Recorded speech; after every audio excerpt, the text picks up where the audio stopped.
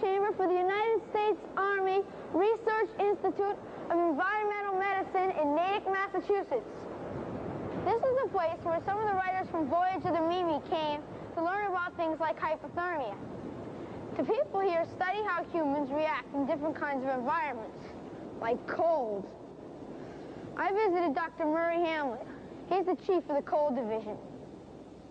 It hits the ground and When Dr. along Hamlet told me he was taking me into the Arctic wind tunnel, so cold. I was a little worried. But he said it was a good way to learn about how our bodies regulate heat. temperature.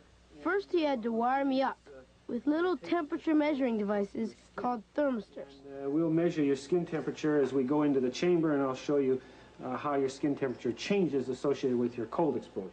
Uh, but I thought your temperature was always 98.6. Well, it is over the, the central part of your body, the, the, the torso, your core of your body. Uh, but over the periphery, the arms and legs, the temperature will vary quite significantly depending on how you're exposed. The way your system works is that you produce heat, the muscles and, and organs in your body burning glucose and oxygen. You mean food?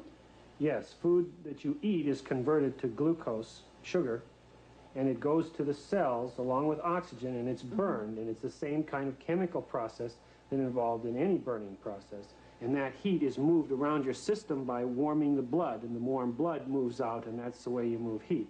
From the core, where it's warm, out to the radiating surfaces in your skin. Now,